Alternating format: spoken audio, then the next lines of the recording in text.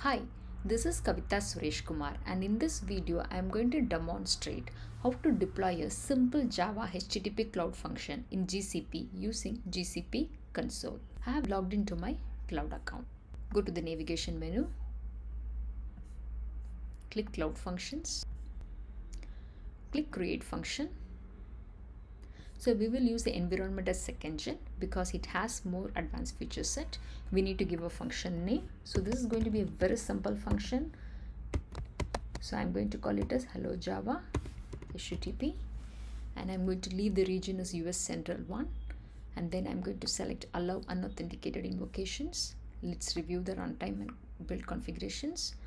So the memory allocated is 256. You can select the different options. I'll select 128 and the CPU is 0.083 and the timeout is 60 and the maximum concurrent request per instance is 1 and the minimum number of instance I'm going to give it as 5 and I'm going to leave the uh, service account as the default service account which is the compute engine default service account.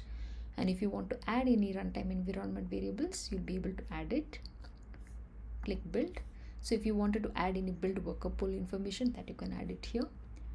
Click connections I'm going to allow all traffic. So I am going to leave most of the thing as default. Click security. So if you wanted to add any secret reference you can add here.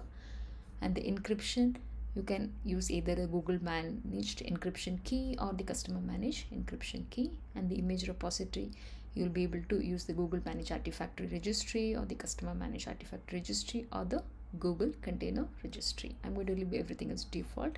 Click next in this time, I'm going to deploy a simple Java HTTP cloud function. So I'm going to select Java 1.7, right? So here you can see the source code, right? So it is going to print the messages, hello world.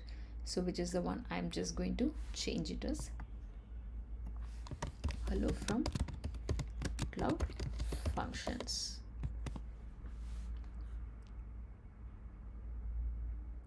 So let's deploy the function. Click deploy. The function is getting deployed while it is getting deployed. So let's review the other information. In the metrics tab, you'll be able to see information about the various metrics once the function is deployed. You'll be able to see invocations per second, execution time, memory utilization, instance count. All these metrics you'll be able to see here. Click details in the details tab, you'll be able to see the region, memory allocated, CPU, timeout, maximum instances, concurrency, service account. All this information you'll be able to see in the details tab. In the source, you'll be able to see the source code, right? And if you have defined any variables, you'll be able to see here.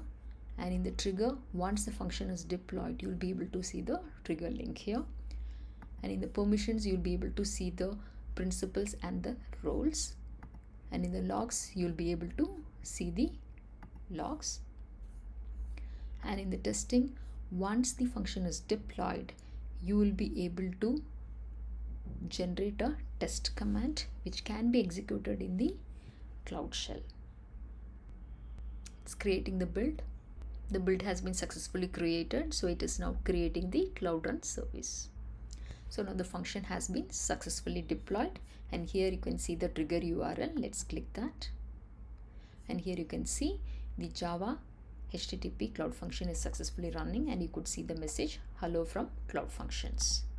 In this demo, we have seen how to deploy a simple Java HTTP cloud function in GCP using GCP console.